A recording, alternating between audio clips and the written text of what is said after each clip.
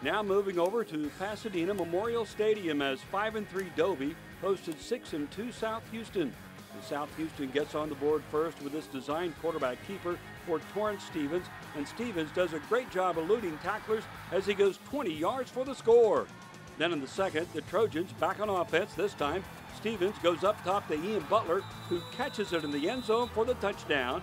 South Houston looked to be in charge at halftime, but Dobie roars back of the second half to win this game 24 to 20.